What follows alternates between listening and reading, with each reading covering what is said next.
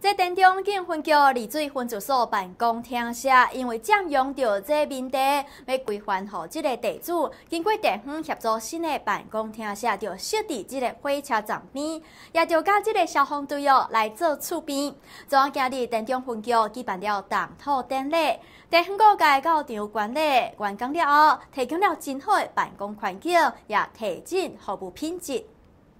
电中分局李水分住所欲使用私人土地，而且贴下老古。三年前，就将土地献给地主，因此分局也开始找找土地。经过三年时间，只要是要代替的土地，就伫消防分队边啊。今日就举办党土典礼，关长民国加当地民意代表都出席参加。这个天色老旧啊，地主啊没办法拿到这个新建的这个同意书，所以没办法改建啊。有些透过诉讼。我们给了地主，所以我们不仅啊哈要编列预算来购买新的土地，也要编列预算来新建这个厅舍的硬体的设备。那今天呢，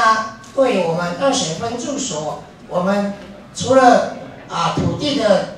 购买以及啊厅舍的编列预算啊，已经超过了五千四百多万哈。电中分局丽水分驻所位伫丽水乡这精华的所在，前后经过着两三年的时间，总算伫今日动土。中华关警察局感谢地方嘉宾代表的协助，和丽水分驻所会当找到土地，而且顺利动土。我们铁路局的地，啊，我们花了一千六百万的购买，那要用编列的新建的经费，啊，有三千八百多万，啊，另外新建完以后，我们还有三四百万的设备费，总共有四千多万。那这个加上土地呀，就六七千万，啊，这些都是县长跟各位议员啊支持，我们才能来新建这新的派出所。那希望我们啊同仁啊，警察同仁，有了新的派出所，我们要就做好我们为民服务，还有治安交通